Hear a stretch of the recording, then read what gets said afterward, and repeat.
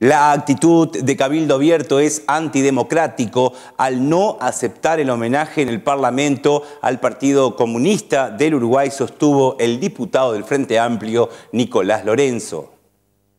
Lamentamos profundamente la actitud de Cabildo Abierto, una actitud que no compartimos por el sentimiento de que el eh, Partido Comunista del Uruguay, más allá de sus 100 años de trayectoria que tiene, tiene representantes nacionales. Acuérdate que el Partido Comunista tiene con, dos bancas en el Senado, cuenta con un acuerdo político como con 11 bancas en la Cámara de Diputados, mucha gente respalda al Partido Comunista del Uruguay y creemos que esa situación afecta directamente a la democracia y al buen relacionamiento que podemos tener, inclusive el republicanismo que podemos llegar a tener todos nosotros presentes, de que las personas pueden elegir. Así como votaron a Cabildo Abierto, este, si se le tiene que rendir un homenaje a Cabildo Abierto, que en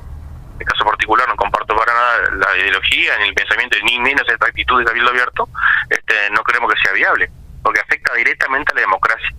¿Qué le va a decir Cabildo Abierto a los uruguayos que votaron el Partido Comunista? Que no va a representar porque las personas se eligieron mal. Está jugando indirectamente a la población. Y me parece que nosotros no podemos, este, en un sistema democrático como el nuestro, que es internacionalmente por su respeto hacia los partidos políticos en general,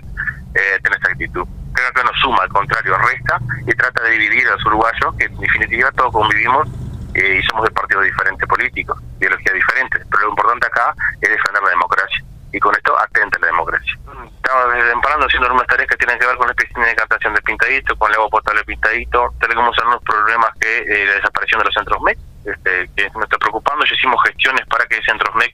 por ejemplo en Pueblo Sequeira, done su, su mobiliario para el liceo por la escuela, el centro poblado pintadito se transforme en un CAT, este, y estamos trabajando en ese sentido. También nos toca a nosotros presentar una propuesta en la hora media hora previa que nos puede tocar el día de hoy o el día de mañana, que estamos trabajando en eso, donde nosotros vamos a potenciar lo que tiene Artigas, que es la convivencia.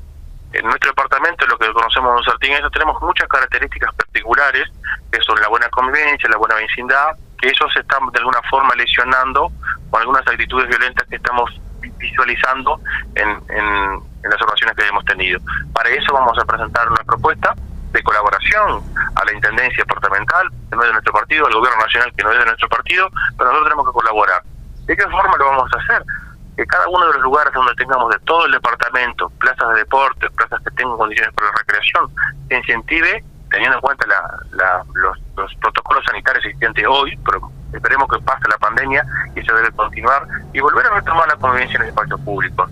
volver a compartir, volver a que las familias se reúnan. Creemos que por ahí el camino de retomar aquellos valores de convivencia tan importantes para los artiguenses. Y eso lo vamos a presentar hoy. Vamos a enviar la nota a los municipios, a la Intendencia Artigas, más allá que ya tuve algunas reuniones personales con el secretario este, general de la Intendencia, también a la Secretaría Nacional del Deporte, también estuve presente con el reunido con el, con el presidente de la Secretaría Nacional del Deporte,